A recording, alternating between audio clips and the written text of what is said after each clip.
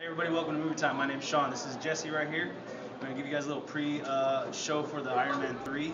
Uh, today we're gonna be watching Iron Man 3. We're gonna give you guys a little what's going down. And my friend Jesse right here is the guy I go to about all my comic news. He'll let you know about a little bit. It's part of the storyline.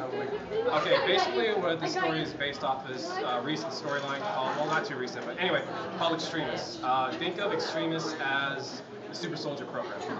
Someone, Maya Hansen created, a, se- uh, wanted to make the Super Soldier program, Super Secret Soldier program, and did it again, but amped it up. Um, so basically, this story pretty much changed the way Iron Man is now in the current comic book con- continuity. It made him Iron Man inside and out. So, just a little bit of preview, kind of a little bit of spoilers. That's just what this storyline's based off. This movie's based off. Now, now the story is loosely based off that. They Yeah, have the extreme, the extremists in there. There's some of the doctors that are his right and left hand man, people from Tony's past in there. Um, I think they're but it's also him even being when he was an asshole. Yeah, and, and they are going to make some changes though, so the storyline is Yeah. not completely 100%. But that's what basic storyline is. Um, we're looking forward to this. I'm very excited. For I'm this. very How about you, excited. I've been looking forward Yeah. to this because I enjoyed the Extremis storyline and I love Iron Man. Iron Man's one of my favorites. I'm definitely looking forward to the progression of the, the series from here. So um, thanks for tuning in, guys. We'll give you guys a post show in a little bit. See you then.